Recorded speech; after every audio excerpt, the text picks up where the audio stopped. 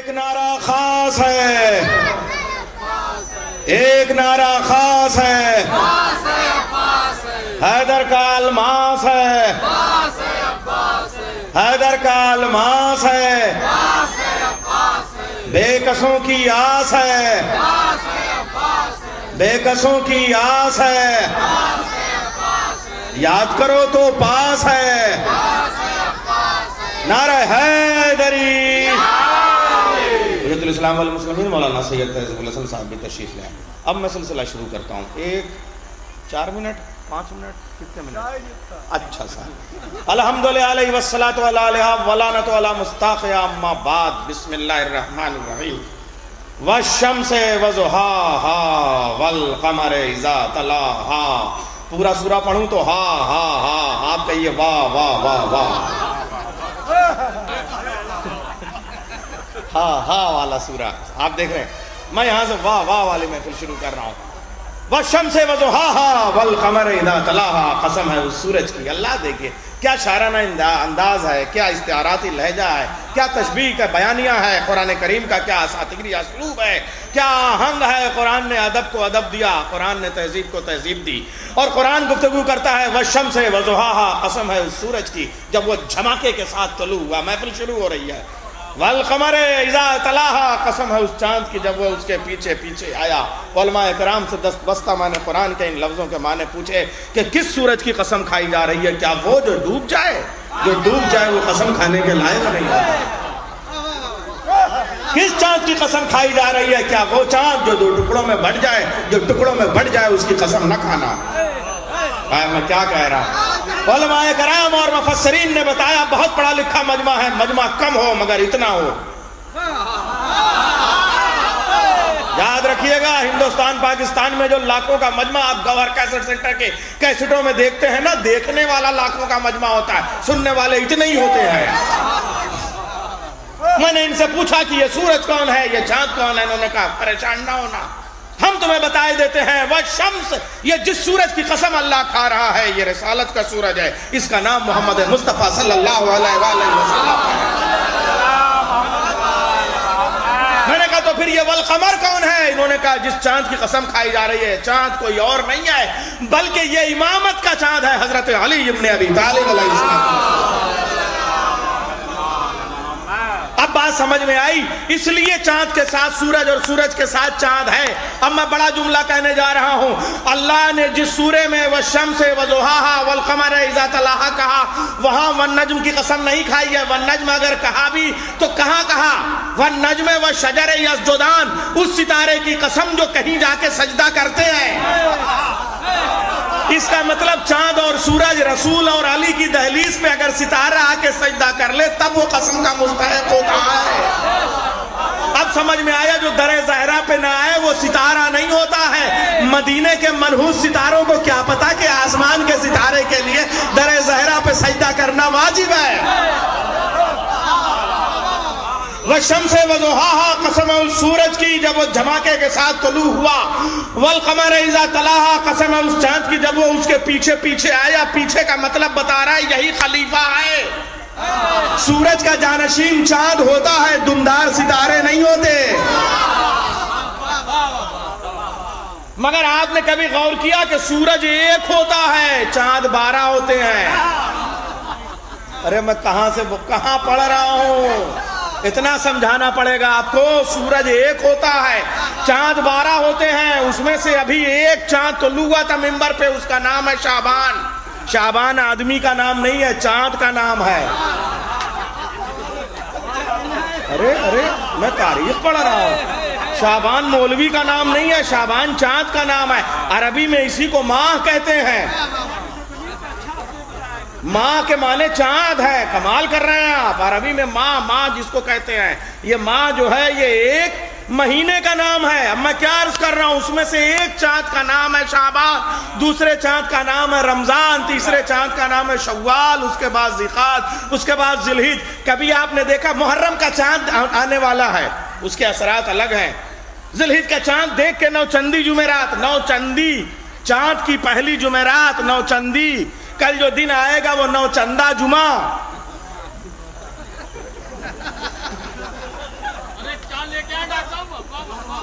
समझे आप? इसे चंदन ही समझ सकता था। नौ चंदी, चाँद की पहली वाली जुमेरात नौ चंदा जुमा। चाँद का पहला वाला दिन जुमा। देखिए, ये मैं अर्ज़ कर रहा हूँ, शाबान एक चाँद। रमज़ान एक चाँद। समझ गए? बेतबुआ उसी का बड़ा वाला चाँद। आइए काला चाँद।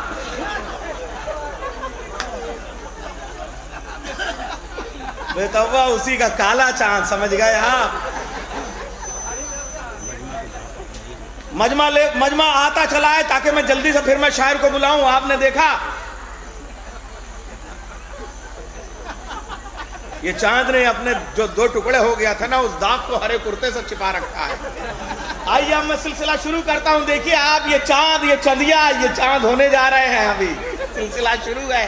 देख रहे हैं, माथा चौड़ा, इतना कि चंदन फैजाबादी अपना आईना में चेहरा देख ले। आइए, ये चाँद है अज़ीज़ देखिए, कैमरे से मैं, आप देख लीजिए कितना बड़ा चाँद है। कैमरे में आप आएँगे कि नहीं, बेताब, ये पूछ लो।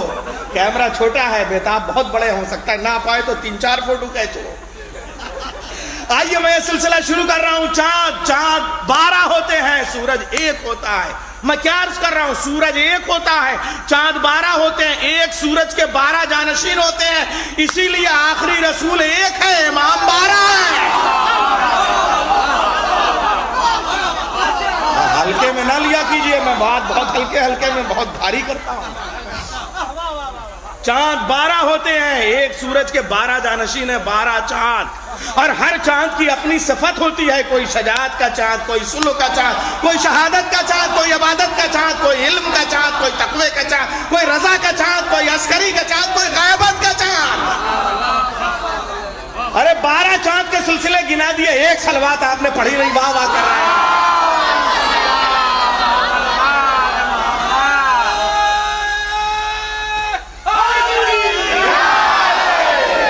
सलामत रही अब मैं महफिल शुरू कर रहा हूँ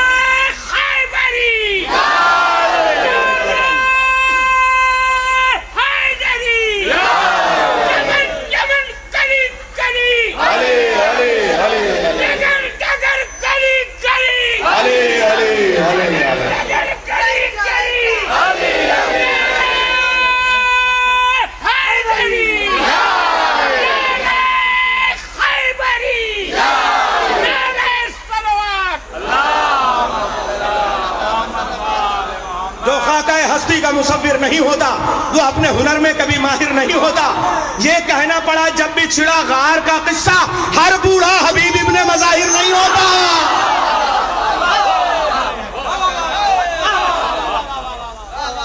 मजाहिर वालों पे जवानी पलटती है। बाकी तो वक्त से पहले ही बुढ़े हो जाते हैं। ये बुज़ुर्ग हैं, वो बुढ़े हैं। नाबालिग बुढ़ों को क्या पता बुजुर्गी कहाँ मिलती है। बारह चाँद होते हैं बारह चाँद बारह चाँद अब एक बात अर्ज़ करने जा रहा हूँ, यहाँ से सिलसिला देखिए साहब। बारह चाँद होते हैं। मौलाना कल जवाब साहब ने बहुत उमदा तकरीर की। क्या कहा? अगर मैं कहूँ कि किसी आलिम की तलाश है तो मुझको थोड़ा सा दो जुमले अंग्रेज़ी पढ़ने में वो आप कहेंगे हाँ साहब आलिम है। मगर कोई डिलीट किया हुआ, कोई वाइस चांसलर यूनिवर्सिटी का है, कि आलिम चाहिए तो फिर और बड़ा आलिम। अली जैसा शजात से तलाश करे, वो कितना सजा होगा? यही तो बात कही। अब मैं आपसे पूछना चाहता हूँ, मैं मैं ज़्यादा खूबसूरत हूँ कि बेताब? मुकदमा लड़ेंगे, पचास साल मुकदमा लड़ेंगे और हिंदुस्तान का कोई भी कोर्ट, कोई भी कोर्ट फैसला नहीं कर पाएगा कि मैं ज़्यादा खूबसूरत हूँ या बेताब। दोनों से पैसा खाते रहेंगे। पचास साल तक दोनों की खूबसूरती का मुकाबला नहीं हो पाएगा तो दोनों में ज़्यादा खूबसूरत है कौन? किसके हक में फैसला देंगे? मैं गोरा हूँ या ये? साहब, बताइए। महात्मा गांधी ज़्यादा गोरे हैं, ये बता रहे हैं। आप मुझे बताइए, क्यों बताऊँ? इसलिए कि मैं मैं, मेरा रंग कैसा है? साफ़ साफ़ बताइए। कैमरे महफूज हो रहा है। सांवला, आप लोग बहुत शरीफ हैं। इज़्ज़त आबरू रख ली कसम खुदा की, ना गोरा कहा ना काला कहा सांवला कहा अच्छा अगर मैं कुछ नाइजीरियंस में अफ्रीकन में हम लोग जाते हैं पढ़ने के लिए कहाँ कहाँ जाते हैं? युगांडा। युगांडा में जब मैं फिर पढ़ने जाए, नाइजीरियंस में। तो वो क्या कहेंगे, मेरा रंग कैसा है? गोरा। अगर मैं कश्मीर में और शाम में और सीरिया में और अंग्रेज़ों में, गोरों में बैठ के मैं जिस पढ़ू, तब मेरा रंग काला। अब बात समझ में आई? रंग एक ही है। जिस सोसाइटी में बैठे उसके हिसाब से देखा जाता है। चंद बदसूरतों में बैठ के अपने हुस्न का आईना दिखाना और है। हसीनों में हसीन बनना और है। अरे मैं क्या कह रहा हूँ? कुछ जाहिलों की जहालत से नाजायज फ़ायदा उठा के चार किताबों के नाम रट के अपनी इल्मियत की बुकरातियत के नारे लगवाना और है, पढ़े लिखों में आलिम बनना और है। कुछ बखेलों और मक्खी मार कंजूसों में बैठ के अपनी सखावत के डिडोरे पीटना और है, और वाकई हातिम से बढ़ के सखावत करना एक दरवाजे पर चालीस दरवाजे का माल मटेरियल दे देना, इसके लिए बड़ा कलेजा चाहिए। अरे मैं क्या कह रहा हूँ आपके सामने, आप समझे मेरी बात? कुछ भगोड़ों के बीच में अपनी शजात का मुजाहरा करना, अली की तलवार से भाग के बच गया है। अपने फरार होने का इजहार करना और बात है, लेकिन वाकई बहादुरों में बहादुर बनना बड़ी बात है। अब मैं क्या कहने जा रहा हूँ? अब्बास जिस घराने में है, वहाँ कोई एक चाँद नहीं है। बारह चाँद तो यूँ ही मैंने गिना दिए। अब्बास किन कहकशाओं में चाँद है? किस कबीले में चाँद है? अब्दुल मुत्तलिब अरब का चाँद, अब्दुल्ला बथा का चाँद, मोहम्मद रसालत का चाँद, अली शजात का चाँद, आमिर नजाबाजों में चाँद,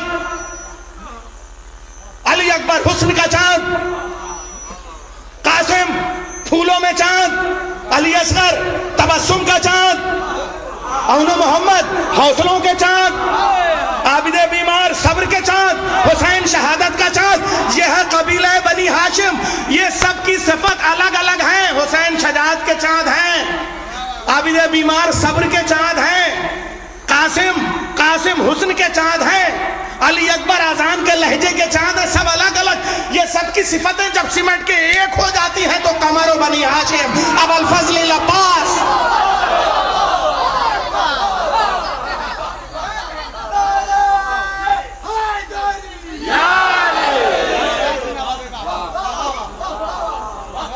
यह है गाजी की शान, यह है गाजी की शान और शजात ऐसी, फिर सूरा पढ़ता हूँ।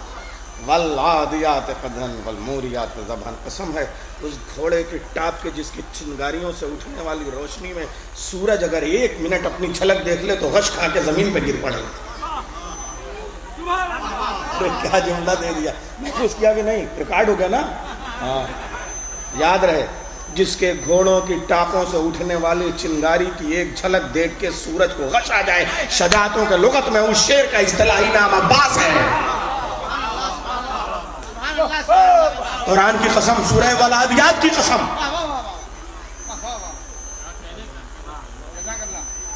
कुरान करीम जिसकी शजात की कसम खाता है, वो अब्बास। जिसके तेवर का आलम, एक कदम आगे बढ़े तो फराज छीन ले। एक कदम और आगे बढ़ाए तो पहरेदारों की हयात छीन ले। एक कदम और आगे बढ़ाए तो पूरी कायनात छीन ले। लेकिन अब्बास उस अख्तियार के मालिक का नाम है जो खुद अपनी तलवार हुसैन को सौंप दे। अल्लाह बेताब के दस्तों बाजू से महफूज रखे। आइए हजरात। दस्तूर है, तहजीब है कि महफिल शम से शुरू होती है। शम में महफिल शायर गुरुबरू रखी जाती है। मैं आज सिर्फ़ शम्मा से नहीं, बल्कि फानूस समेत शम्मा से मैं महफिल को शुरू करने जा रहा हूँ। फानूस फानूस से महफिल आपके सामने पेश कर रहा हूँ। इसलिए कि शम्मा और फानूस का, आपको मालूम है, फानूस और शम्मा का रिश्ता क्या है? कसम खुदा की। शम्मा के नूर को फानूस पहले परतों के तौर पर जज्ब करता है। फिर उस नूर को छान के बांटता है। यह है फानूस। मुझे नहीं मालूम आप हो सकता है कुछ और नए मतलब बताएँ। लेकिन शम रिसालत कसम खुदा की शम रिसालत ने फानूस से निकल के देखा कुछ परवानों के बिगड़े हुए चेड़े जो बदरोवहद में नाराज़ नज़र आए तो फिर शमा ने बदुआ दी कि मुझे ऐसे परवाने नहीं चाहिए जो शमा की मैयत छोड़ के चले जाए। मैं क्या कह रहा था? देख रहे हैं वो समझेगा। जिसने अपने अकायद को हिजरत करके सही रास्ते पे ला के रखा। और शम्मा भी हिजरत ने बताया कि कुछ परवाने दुश्मनों की तरह चालीस कबीलों की नुमाइंदगी करते हुए दीवारों पे खड़े हुए थे। इसीलिए ये सब पर्दे लगाए गए हैं, ताकि शम्मा महफूज रख सके। आइए उस शम्मा के हवाले से मैं उनको आवाज़ दूँगा और फ़खरी जाफरी के चार मिसरों के साथ इस जश्न का आगाज़ कर रहा हूँ मैं। इस सिलसिले का, या अली, कितनी मुकदस तेरी अन्नाई है। या अली कितनी मुकद्दस तरी अगनाई है? परवरिश ग्यारह इमामों ने यहाँ पाई है। आज अब्बास के सदक़े में मुरादे ले लो। आज अब्बास के सदक़े में मुरादें ले लो। आज वो दिन है कि हैदर की मुराद आई है। आज वो दिन है कि हैदर की मुराद आई है। आप सबकी मुरादों की कबूलियत का लम्हा तशरीफ़ ला रहे हैं। मेरी फेरिस्त का पहला शायर, जनाब फानूस जरवली साहब। उसको ना कोई गम कभी मानूस करेगा। उसको ना कोई गम कभी मानूस करेगा। शब्बीर का गम दिल से जो महसूस करेगा। शब्बीर का गम दिल से जो महसूस करेगा तो हर सिमत वफाओं के दिए जलने लगेंगे। चौथा मिसरा हर सिमत वफाओं के दिए जलने लगेंगे जब ज़िक्र अलमदार का फानूस करेगा। जब ज़िक्र अलमदार का फानूस करेगा। जब ज़िक्र अलमदार का फानूस करेगा। और ये भी चार मिसाल दिखाता हूँ।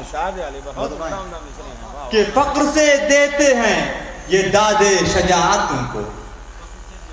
फक्र से देते हैं ये दादे शजात उनको। जो सदा बाज रहे रन में कदम देने। से जो सदा बाज रहे रन में कदम देने से तो फाश हो जाएगा पर्दा ये खबर थी उनको। नहीं भाई। फाश हो जाएगा पर्दा ये खबर थी उनको इसलिए कर दिया इनकार कलम देने से। इसलिए कर दिया इनकार कलम देने से। इसलिए कर दिया इनकार। कलम देने से। और ये भी चार मिसरा से कर कि हज़रत, ये जो नैयर भाई ने निजामत की और उसमें तमहीद में मुझे बुलाने के लिए या जो भी तमहीद में शेर पढ़े, कोशिश कर रहा हूँ कि उसी वज़न के शेर आपके समाजों के हवाले करता चलूँ और उन्हीं मिसरों को आपके हवाले करूँ। लिहाजा मैं यहाँ से चौथे इमाम के शान में एक मुसदस के चंदन हाजिर करता हूँ। उससे पहले मैं कोशिश ये कर रहा हूँ कि आप लोग जैसा भी सुन रहे हैं बेहतर सुन रहे हैं। और मर्ज़ी आपकी जैसा भी सुनिएगा आप समझिए। अच्छा मैं सिर्फ़ चार मिसरे पढ़ के चल रहा हूँ आज। रास्ते की मंजिल तय कर रहा हूँ पूरी जो कि करता हूँ ज़िक्र गाजी मैं आपका नहीं। करता हूँ ज़िक्र गाजी। मैं आपका नहीं। अब माना कि शेर मेरा है टाप का नहीं। करता हूँ ज़िक्र गाजी, तीसरा और चौथा, मिसरा, पूरी तवज्जो उसके बाद जैसी मूर्ति वैसा सुनना। करता हूँ ज़िक्र गाजी, मैं आपका नहीं। माना कि शेर मेरा है टाप का नहीं। अच्छा अगर लगे तो जरा वाह कीजिए। अरे गाजी का ज़िक्र है, ये मेरे बाप का नहीं। अच्छा अगर लगे तो जरा वाह कीजिए। गाजी का ज़िक्र है, ये मेरे बाप का नहीं। गाजी का ज़िक्र है, ये मेरे बाप का नहीं। और एक सलवार का सहारा दें, इंशाल्लाह, बंदा से करता भाई। मौलाना एक मिसर में खास तवज्जो आता हूँ कि सरदार साइदीन भी जैनुल इबादी है। सरदार साइदीन भी जैनुल इबा भी है। मुश्किल कुशाए खल्क भी हाजत रवा भी है। मुश्किल कुशाए खल्क भी हाजत रवा भी है। फरमा रवाए खैर भी है मुख्तदा भी है। फरमा रवाए खैर भी है मुख्तदा भी है। कब्जे में इसके दर्द भी है और दवा भी है। कब्जे में इसके दर्द भी है। और दवा भी है, बात हाजिर कर रहा हूँ। कब्जे में इसके दर्द भी है और दवा भी है। तो ज़ाहिर में कायनात का चौथा इमाम है। ज़ाहिर में कायनात का चौथा इमाम है। बातिन में अपने दौर का खैरुल अनाम है। बातिन में अपने दौर का खैरुल अनाम है। बंसुर की तनहा लड़ा है अकबर जर्रार के बगैर। कोई मोनिस यावर नहीं। तनहा बीमार करबला। तनहा लड़ा है। अकबर जर्रार के बगैर, ऊँचा रखा अलम को अलमदार के बगैर। ऊँचा रखा अलम को अलमदार के बगैर मैदान सब्र सर किया हथियार के बगैर। मैदान सब सर किया हथियार के बगैर, कूफे को फतह कर लिया तलवार के बगैर। कूफे को फतह कर लिया तलवार के बगैर बस रहेंगे। कूफे को फतह कर लिया। तलवार के बगैर, अब्बास के बगैर लड़ा फौज शाम से। पुर तो जो, अब्बास के बगैर लड़ा फौज शाम से। काटी जबा यजीद की जोरे कलाम से। काटी जबा यजीद की, अब्बास के बगैर लड़ा फौज शाम से। अब्बास के बगैर लड़ा फौज शाम से। काटी जबा यजीद की जोरे कलाम से। कसरे यजीदियत को गिराने के वास्ते कसरे यजीदियत को गिराने के वास्ते जुल्मो शराय शाम को ढाने के वास्ते मकसद हुसैनियत का बचाने के वास्ते मकसद हुसैनियत का बचाने के वास्ते ईमान का चराग जलाने के वास्ते ईमान का चराग जलाने के वास्ते तोड़ा गुरूरो ला तो होबल को झिझोड़ कर। तोड़ा गुरूरो ला तो होबल को झिझोड़ कर। रख दी यजीदियत कलाई मरोड़ कर। रख दी यजीदियत कलाई मरोड़ कर। रख दी यजीदियत कलाई मरोड़ कर। बीमारे करबला की कोई देखे आबोताब बीमारे करबला की कोई देखे आबोताब सहराए तशनगी में महकता हुआ गुलाब। सहराए तशनगी में महकता हुआ गुलाब। नहार पर है मोहम्मद का आफ्ताब। पुरदो जो निफ्सुल नहार पर है मोहम्मद का आफ्ताब। पहुंचेगा ताबा शाम को लाएगा इनकलाब। बात हाजिर कर रहा हूँ पुरदो लिखो। पहुंचेगा ताबा शाम को लाएगा इनकलाब। मंजिल जरी की आखिरी दरबार शाम है। मंजिल जरी की। आखिरी दरबार शाम है। अब तो अमीर शाम का किस्सा तमाम है। अब तो अमीर शाम का किस्सा तमाम है। और हुजूर यहाँ सिलसिले के चार पाँच बंद जो तारीख के हवाले से पेश कर रहा हूँ पूरी तारीख में बोलने को कोशिश की शायद किसी तरह के समय रखे कदम जो जुल्म के दरबार में इमाम। रखे कदम जो जुल्म के दरबार में इमाम। बैठा हुआ था तख्त पे बदबख्त मेरे शाम। बैठा हुआ था तख्त पे बदबख्त मेरे शाम मैं की सुराही जानों पे थी हाथ में था जालिम ने बेहयाई से उस दम किया कलाम। जालिम ने बेहयाई से उस दम किया कलाम। सज्जाद के जवाब से दरबार हिल गया। खुतबों को सुन के शाम का हाकिम टहल गया। खुतबों को सुन के शाम का हाकिम दहल गया। बोले, इमाम, दे मुझे एक मौका खिताब। बोले, इमाम, दे मुझे एक मौका खिताब। ये कह के आ गए सिरे मिंबर बहुत जनाब।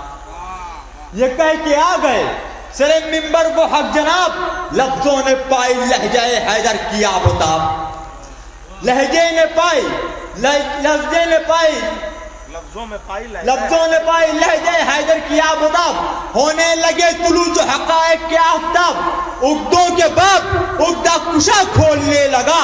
बातिल खामोश हो गया हक बोलने लगा। बातिल खामोश हो गया हक बोलने लगा। बातिल खामोश हो गया हक बोलने लगा।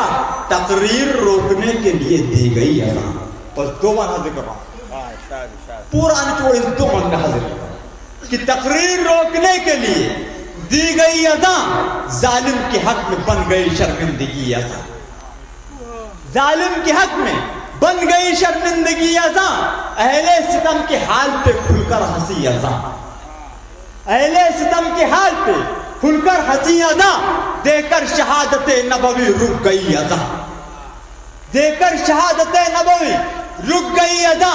बेवक्त की अजान से पासा पलट गया। दरबार शाम कुवत हक से उलट गया। दरबार शाम कुवत हक से उलट गया। तशरी जब अजा की हुई, जुल्म डर गया। सज्जाद का सवाल अजब काम कर गया। नस्लों की बात निकली तो चेहरा उतर गया। जोमे यजीद तख्त हुकूमत से मर गया। आखिरी में जोमे यजीद तख्त हुकूमत से मर गया। आबिद ने फेंके जबर के खैबर उखाड़ के, मिंबर से उतरे दावने अतहर को झाड़ के। मिंबर से उतरे दावने अतहर